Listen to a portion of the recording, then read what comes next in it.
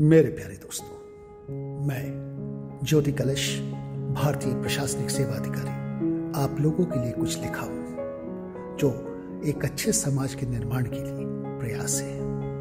शीर्षक है, शब्द। शब्द की भी बड़ी अजीब दुनिया है, बड़ा ही अद्भुत संसार है। अक्षरों से, मात्राओं से बना शब्द, कई ज़ुबान, कई भाषाएँ बोलता है। देसी विदेशी सब। साधारणतः शब्द कई अक्षरों और मात्राओं से बनता है तो कभी सिर्फ़ एक अक्षर से, सिर्फ़ एक अक्षर से। मिसाल के तौर पर, ना तो सिर्फ़ एक अक्षर है, पर इसमें इतनी ताकत है, इतनी शक्ति है कि इस शब्द रूपी अक्षर के वाक्य में लगते ही पूरे वाक्य का भावार्थ बदल जाता है। शब्द न सिर्फ़ इंसान को इंसान से जोड़ता है, बल्कि इंसान को जानवरों और पक्षियों से भी जोड़ता है। इंसान को पौधे और वृक्षों से भी जोड़ता है। ऐसा मेरा मानना है, ऐसी मेरी सोच है। कभी सोचा है आपने? कितना जादुई, कितना मायावी और कितना प्रभावशाली होता है आपका एक शब्द। मुँह से निकला हर शब्द, कमान से निकले एक तीर की तरह होता है, जो बिना आघात किए, आहत किए वापस नहीं लौटता। वह प्रभाव कर ही देता है, चोट दे ही देता है, नुकसान पहुँचा ही देता है। यह रूठे हुए को हंसा सकता है तो हँसते हुए को पल भर में रुला भी दे सकता है। यह कभी पेट में गुदगुदी पैदा कर देता है तो कभी हँसी के ठहाके लगवाता है तो कभी यह रुआसा कर देता है, आँखों से आँसू छलका देता है। कभी कभी तो कुछ शब्द किसी को बिल्कुल ही निशब्द कर देता है, शांत गंभीर कर देता है, निष्ठुर कर देता है, और कभी तो यह किसी को बोलने के लिए मजबूर और आमदा कर देता है। आपका एक अपशब्द सामने वाले को सुई की नोक की तरह चुभता है। रिश्तों में जहर घोल देता है। सदियों के पुराने अटूट संबंधों को, दोस्ती को पल में तोड़ देता है, बिखेर देता है। रिश्तों में खटास और दरार पैदा कर देता है। दूसरी तरफ़, एक प्यार से कहा शब्द, मिठास से भरा शब्द। खून के प्यासे लोगों को, उनकी दुश्मनी को प्यार में बदल देता है, दोस्ती करा देता है, उन्हें फिर से नए रिश्तों में बाँध देता है। तीखे जहरीले शब्दों से बनी ज़ुबान, भाषा तो आग लगा देती है। अच्छी से अच्छी दोस्ती को झुलसा कर खाक कर देती है। और वहीं प्यारे, मीठे शब्दों से बनी ज़ुबान इंसान के मिजाज को बदल देती है, समा बाँध देती है, महफिल से इसलिए यह बेहद ज़रूरी है कि हम कुछ बोलने के पहले सही शब्दों का चयन करें, सही शब्दों का चुनाव करें, उसका उचित प्रयोग करें और उसे प्यार से कहें। महत्वपूर्ण यह भी है कि हम शब्दों को कैसे बोलते हैं, किस तरीके से बोलते हैं, किस अंदाज में बोलते हैं। ज़ोर से बोला शब्द, गुस्से में बोला शब्द, आक्रोश में बोला शब्द, धीरे से बोला शब्द, प्यार से बोला शब्द, हंस के बोला शब्द, रो के बोला शब्द, भावात्मक तरीके से बोला शब्द व्यंग्यात्मक तरीके से बोला शब्द इत्यादि का असर न सिर्फ़ सुनने वाले पर होता है, बल्कि आसपास सुन रहे लोगों पर भी उतना ही असर करता है। आपके शब्दों से सुनने वाले के चेहरे का रंग उतर जाता है, उसके शरीर की भाषा बदल जाती है, उसका व्यवहार, उसका आचरण आपके शब्दों के अनुकूल हो जाता है, आपके शब्दों के अनुरूप हो जाता है। आपके शब्द पल भर में आपकी छवि खराब कर सकता है धूल कर सकता है। तो दूसरी तरफ़, आपका एक प्यारा सा बोला शब्द किसी के दिल में आपके लिए जगह बना देता है। उसे आपका गुलाम बना देता है, आपका मुरीद बना देता है, आपका कायल बना देता है। आप उसके लिए मार्गदर्शक बन जाते इतिहास गवाह है कि एक शब्द, सिर्फ़ एक शब्द ने भाई को भाई से, भाई को बहन से, बाप को बेटा से, माँ को बेटी से, बाप को बेटी से, माँ को बेटा से परिवार को परिवार से अलग कर दिया है, हमेशा के लिए जुदा कर दिया है। यह पति पत्नी के संबंधों को भी बिगाड़ देता है, यहाँ तक कि तलाक करा देता है। सिर्फ़ एक शब्द के कारण न जाने कितने दुश्मन बने, कितने दोस्त बने, कितने रिश्ते टूटे, कितने रिश्ते बने, कितने दोस्त छूटे तो कितने रूठे, कितने पिटे, कितने घर टूटे, उजड़े और साथ साथ कितने घर टूटने से बचे।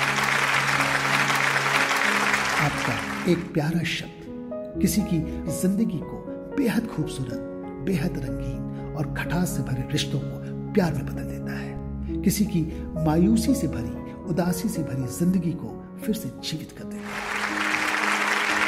सच में, शब्द किसी के लिए छुरी की धार की तरह होता है तो किसी के लिए मखमल या रुई की तरह कोमल। शब्द हमें ज़ुबान देता है, बोलने की शक्ति देता है। यह कभी तालियाँ बजवाता है तो कभी गालियाँ भी सुनाता है। अक्षर के भी नाखून होते हैं। नाखून बढ़े अक्षर। जब शब्द का रूप लेते हैं तो वे बेहद नुकीले और कटीले हो जाते हैं। उनमें इतनी क्षमता होती है कि सुनने वालों को वो नोच दे, बकोट दे, भेद दे, कुरेद दे और एक गहरा जख्म दे दे। व्यंग से कहा शब्द कड़वी ज़ुबान बोलता है, जो गहरा मानसिक घाव दे देता है, जिसकी टीस, जिसका डंक इंसान को झकझोर कर रख देता है। इसलिए शब्दों के नाखून को बढ़ने ना दे। नुकीले शब्दों को बोलने के पहले उसे अपनी ज़ुबान से कुतर दे, उसे भोथर कर दे, ताकि हम मीठा बोल सकें और लोगों के दिल को जीत सके। शब्द को आप जैसे इस्तेमाल करेंगे, जैसे बोलेंगे वैसा ही यह अपना रंग और प्रभाव दिखाएगा। इंसान की सही पहचान तो बहुत हद तक उसके चुने हुए शब्दों पर, बोले हुए शब्दों पर निर्भर करती है। या यूँ कहे, शब्द ही इंसान का सही चित्रण करता है, चरित्र दिखाता है और उसकी सही पहचान और परिचय कराता है।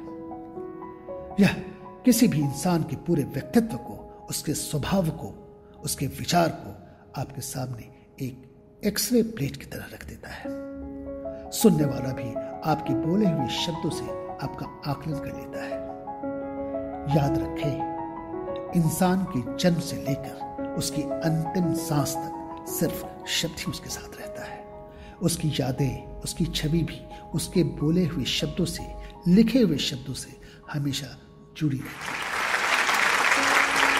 शब्दों से गुथे न जाने कितने गाने, कितने भाषण, कितने संवाद, कितनी कविताएँ कितनी कहानियाँ अमर हो गए हैं, जिसे लोग याद रखते हैं बार बार गुनगुनाते हैं, गाते हैं, सुनते हैं, पढ़ते हैं। इन सबों की कोई उम्र नहीं होती। ये सब हमारे लिए सदा जीवित रहते हैं और हमेशा जीवित रहेंगे। जानवरों का, पक्षियों का भी चहकना, हंसना, रोना, भयभीत होना हमारे शब्दों पर, हमारे बोलने के अंदाज पर आधारित है। शब्दों से तो हम जानवर को भी, पक्षियों को भी अपना दोस्त बना लेते हैं। कुछ पक्षी, जैसे तोता कोयल तो इंसान की बोली सीख लेते हैं, भाषा सीख लेते हैं, और अपनी आवाज़ में वो इंसान की बोली भी बोल लेते हैं, हमारी भाषा भी समझ लेते हैं। पौधे, वृक्ष भी मेरी नज़र में इंसान के शब्दों को समझते हैं। आपका उसे पानी देना, प्यार से सींचना, रखना, उनके सामने गुनगुनाना पौधे के लिए भाषा की तरह काम करता है। बड़े बड़े बरगद और पीपल के पेड़ की जब पूजा की जाती है तो ये वृक्ष भी हमारी भाषा समझते हैं और हमें इन देवरूपी वृक्षों से उनका आशीर्वाद भी मिल जाता है। एक किसान कितने प्यार से गाना गागा के पौधे लगाता है, खेती करता है, फ़सल बोता है, काटता है। मकर संक्रांति, लोहड़ी, बीहू जैसे कितने हमारे कृषि पर्व हैं। जो शब्दों से जुड़े हैं। कितने गीत, संगीत, नृत्य भी बने हैं इन सबों के ऊपर। हमारे शब्दों से बने गीत फ़सलों में, पौधों में, वृक्षों में जान हर शब्द के मायने होते हैं और कुछ शब्दों के तो कई मायने होते हैं। शब्द तो प्रसंग के हिसाब से प्रयोग किए जाते हैं। हर शब्द में गहराई छिपी होती है, इसलिए शब्दों को समझ बूझ कर बोलना चाहिए। कुछ लोग तो शब्दों से खेलते हैं। आप भी खेलिए। बड़ा मज़ा आएगा, बड़ा आनंद आएगा। आँखें भी शब्द बोलती हैं, हमारी मुद्रा भंगिमा भी शब्द बोलती है। ये आपके भाव को बता देती है, इंसान की भाषा समझा देती है, जो यह कहना चाहती है, कह देती है, जो बताना चाहती है, बता देती है, जो जताना चाहती है, जता देती है। वाकई, जिसने भी बनाया होगा अक्षर मात्रा और शब्द। कमाल का होगा वो शख्स। कमाल का होगा